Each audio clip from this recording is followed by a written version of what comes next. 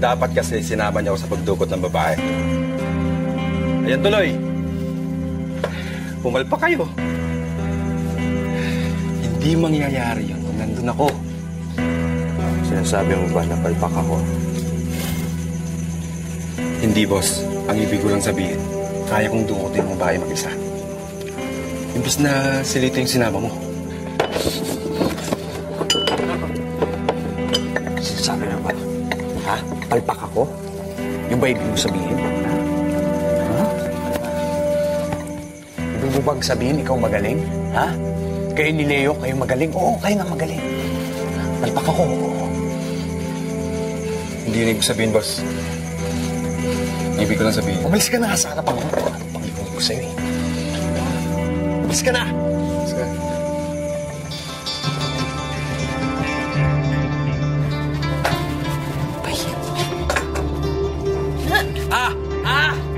Tandaan lang!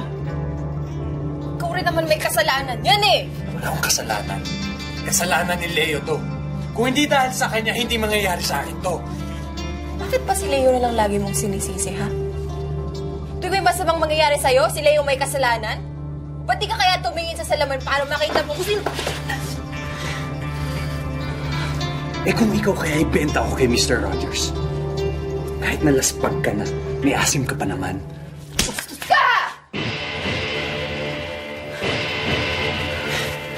Babalikan ko yung polis niyo. Lalo na si Leo. Huwag kang humukay ng sarili mong libingan. Babe! Babe! Para sa'yo rin naman tong ginagawa ko eh. Para yumaman na tayo, pero bakit ba yung Leo na yan kinakampihan mo? Ako yung asawa mo. Sinasabi ko lang naman, huwag mo sila awayin. Papahamak ka lang. Alam mo, tama ka. Tama ka, hindi, hindi naman kailangan ako yung maging kalaban nila, di ba? Sinestor ang kalaban nila. Bakit hindi na lang natin paglaban-labanin si Ulysses at si Nestor? At baka pag sinwerte tayo, baka sila-sila din magpatayan. At pag nangyari yon, ako na ang maghahari ng lahat. Edu! Uy, pasok!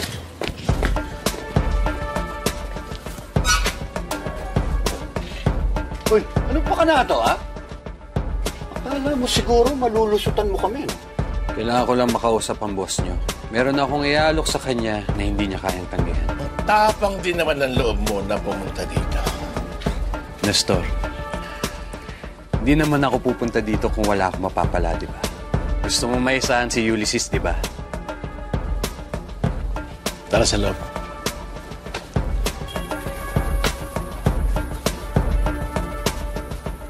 Kailangan mo makuha ang four keeps. Yun ang website na ginagamit ni Leo para makakuha ng babae. Bilib na bilib na si Mr. Steiner doon eh. At kung mahigitan mo yun, siguradong ikaw na ang magiging pinuno ng buong Asya. Bakit mo ginagawa to? Ikaw na nga itong tinutulungan ko. Dami mo pang tanong. Gusto mo ba o ayaw mo? Dahil kung hindi, talo ka. Ito ang nagpapaangat kay Ulysses, kaya siya ang boss ng buong Asya.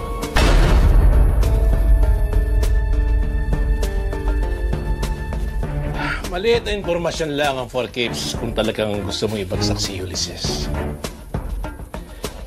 Total, nagpunta ka na rin dito para dagain si Ulysses. Bakit hindi yung pasagat-sagarin?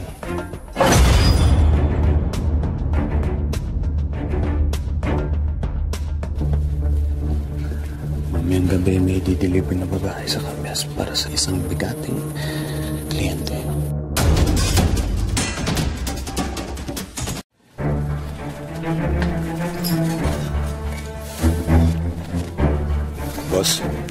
Anong sinabi nun?